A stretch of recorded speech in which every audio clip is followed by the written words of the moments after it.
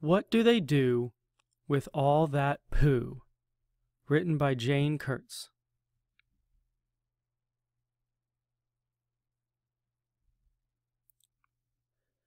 What do they do with all that poo?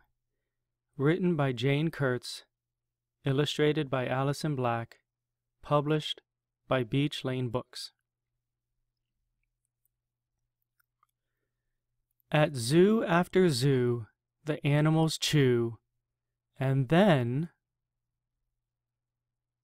they poo. Poo is made of mostly water, but also bacteria and bits of undigested food. Animal poo goes by a lot of different names, including manure, scat, droppings, dung, castings, and guano.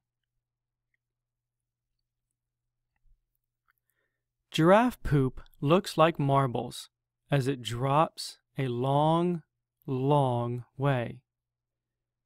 A giraffe has four stomachs, so it digests its food very efficiently. That means a giraffe needs to eat a lot less than most herbivores, which is why its droppings are so small. Panda poo is full of bamboo. Pandas eat and poop all day. Pandas digest only 17% of the bamboo they eat, and the leaves and stems pass through their systems very quickly, so panda poop looks like a green mass of partly digested bamboo, and it doesn't stink. A hippo sprays a shower with its flipping, flapping tail. Hippos use dung showering to mark their territories and to warn off predators. They shoot their dung out while flapping their tails to spray it around. To weigh a day of elephant's poo, you need a sturdy scale.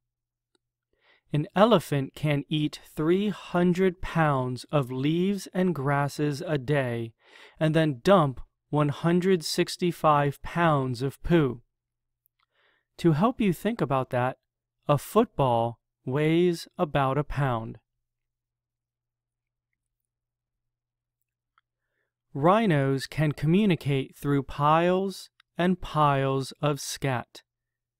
Each rhino's poop has its own unique smell. Rhinos smell dung to gather information about one another. A lion sometimes buries poo like any other cat. Cats big and little often bury their poop so it won't be detected by enemies. But sometimes lions and tigers leave poop unburied as a warning that this is their territory. Sloths creep down from trees to poop, but only once a week. Why do sloths spend so much energy leaving the protection of trees to poop on the ground? It's a mystery scientists are trying to solve. A penguin shoots its poo out in a fishy smelling streak. Penguins don't have teeth, so, as one zookeeper says, fish go through them fairly rapidly. Scientists have studied the force it takes for a penguin to shoot its bright white fishy guano so far. A wombat's poo is cube-shaped, so it isn't very rolly. Wombats are highly territorial.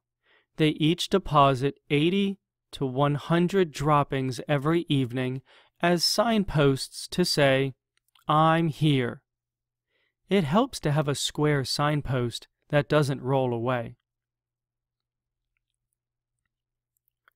Some snakes poop only once a year. They digest their food slowly. One study showed that it took a python five and a half days to digest a rat. Because their bodies are so efficient, snakes poop less often than almost any other animal. Hyenas crunch up lots of bones. That's why their poop is white.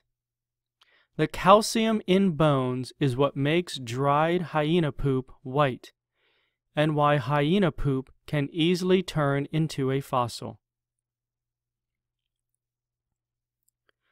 Bat poop has undigested bugs.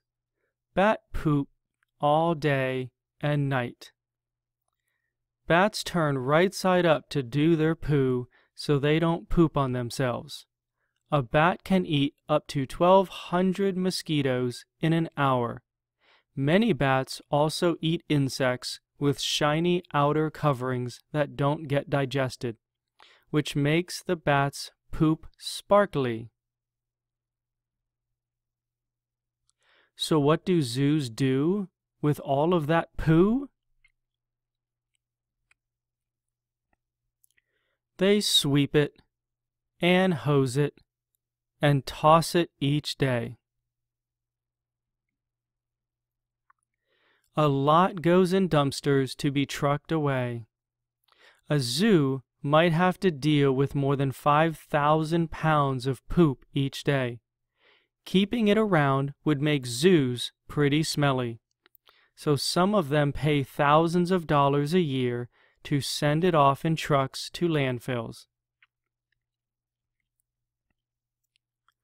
They send some to vets and to scientists too. Then zoo poop is studied to help out the zoo. Doctors and vets study poop to see how well an animal is digesting its food and to spot health problems.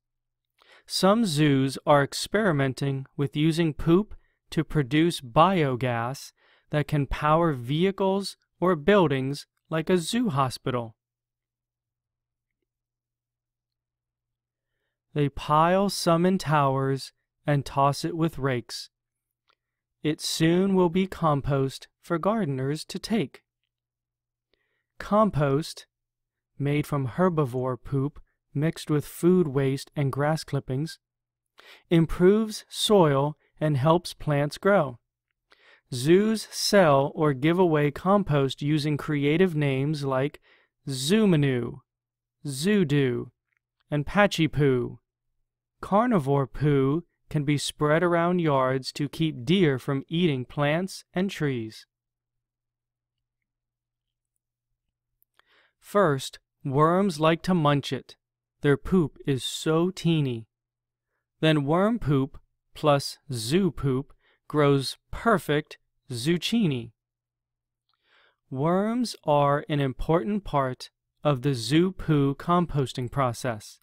They can eat hundreds of pounds of organic matter every week.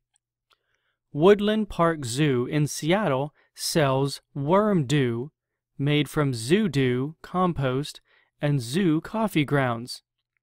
The zoo says it's been pooped once by exotic herbivores and pooped again by compost loving worms. They even make paper from elephant poo. Elephant poo comes out with so much plant fiber that a machine can wash the poo and pull out the fiber, which can then be used to make paper and cards. Zoo poo paper is pretty, not smelly, it's true. Whoa, look, yikes, duck! That monkey at the zoo just threw its poo at you. Many primates throw poo.